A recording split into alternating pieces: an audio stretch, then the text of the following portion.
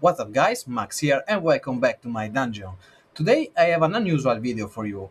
I had some uh, liters left of liquid nitrogen to spill before recharging, so I'd say why not do a little experiment just to try the ray tracing in World of Warcraft and try the AMD uh, Ryzen 3 3300X at 5 GHz or even more with liquid nitrogen, so well, let's get to it. Alright, now we have the system at default. Even if I have minus uh, 43 degrees, the system is running at stock. So now, as you can see, we have the boost running at its maximum since we are below zero and the XFR2 enhance uh, the boost capabilities. But uh, now I'm in 4K, so everything is set on high, here ray traced shadow, in the graphics setting, I'm at maximum 4K resolution, so in theory, the GPU should be bottlenecked, but in this case, it's not, since uh, the CPU can't keep up and we are at 84%, 89%, and the GPU is at 80%. So we have a bottleneck on the CPU. And I want to do this experiment uh, to overclock uh, the, this Ryzen to 5 gigahertz or even more and to see if uh, we can have uh, a boost in the FPS. So now I'm going to bring down the temperature to minus 100, activate the LN2 profile and try to overclock as fast as I can this CPU. Now I am into the BIOS and uh, I'm going to bring down the temperature to minus 100 to be able to boot at uh, these settings since uh, I'm using 3200 MHz with the C14 but uh, to go full pot, so to reach the maximum negative temperature, I have to push the SoC voltage to 1.575, so it's a lot. And to do that, uh, without risking anything, I'm going to bring down the temperature around minus 100, and then I'm going to boot and start uh, this uh, experiment. So now as you can see the temperature is going down very quickly. And once I reach negative 100 more or less I can safely boot the system and start uh, the test. I am now at 5 gigahertz with uh, negative 122 degrees. And as you can see we have uh, the CPU the GPU utilization at 100% with uh, 100 FPS roughly. And yes no limitation so yes, the CPU was bottlenecking.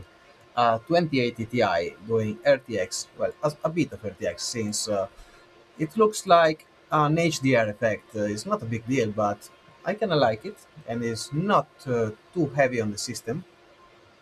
So now we have the, zip, the GPU utilization higher and this is the last liquid nitrogen I have left. So I'm going to try to push a bit more and see if we can play at 5.2, 5.4.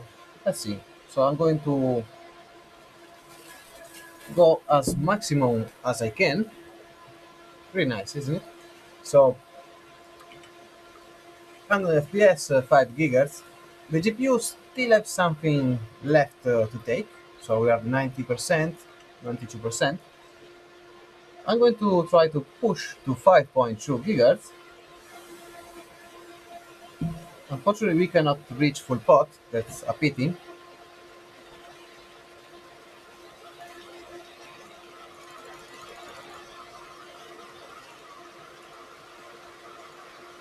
Okay, we are at 5.2 gigahertz. The GPU is still not at, at its maximum, but we are approaching 96%, so we have a, a small improvement we are negative 166 degrees and I'm going to try to push to 5.4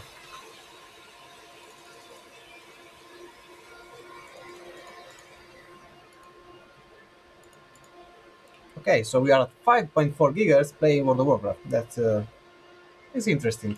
And as you can see we are now at 60% of uh, maximum utilization for the single core job 64 but uh, okay this is I think the maximum we can reach since uh, the Infinity Fabric clock is at uh, 1600 megahertz with the RAM at uh, 3200 megahertz because when I go very cold I cannot raise the fabric clock too high.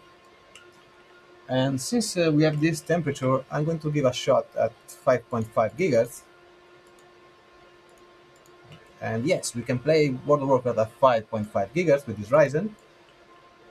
And even in 4K, we have a nice FPS. We are in Boralus, so it's kind of cool. I'm gonna try to walk a bit uh, around to show you the RTX effect. It's not so noticeable since uh, when you switch from RTX on to RTX off, let's say like this, in reality it's just the shadow with the with the ray tracing. So it's not the lightning and all the cool stuff with the ray tracing. It's only the the shadow. But if you look at the all the shadow reflected, it's a bit more defined. Like as I told you, uh, an HDR effect. If you have a good monitor, it's like with more contrast and it's pleasant.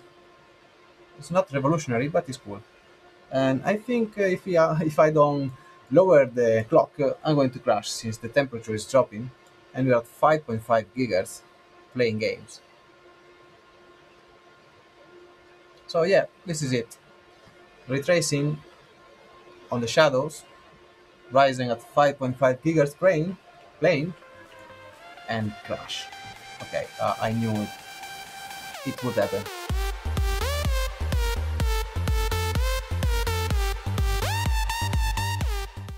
Alright guys, that was fun.